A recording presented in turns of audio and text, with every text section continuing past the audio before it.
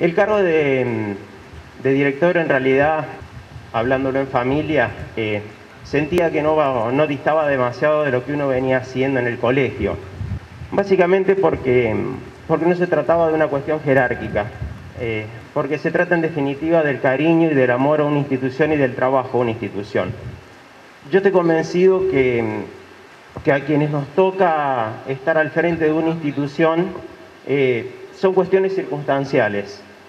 Eh, creo que lo importante en esto es siempre el trabajo en equipo, es sentir que uno está acompañado y es sentir que es parte de un grupo de gente eh, que involucra absolutamente a todos, preceptores, administrativos, docentes, estudiantes.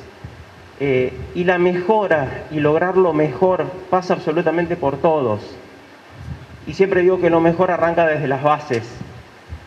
Creo que los que tienen que plantearse ser cada día mejor y crecer son los que tienen la remerita blanca con el logo del colegio.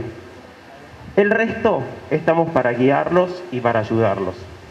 Confío plenamente en la, en la gente que tenemos dentro del colegio, en los estudiantes, en el apoyo de las familias, en el plantel docente, muchísima gente comprometida que da lo mejor de sí, a veces con diferencias, pero sabemos que cada uno pone lo mejor de sí y busca las mejores estrategias para lograr lo mejor con cada uno de los estudiantes a la gente de administración que son la mano derecha y son la gente de confianza y son la que nos salvan las papas en más de una oportunidad.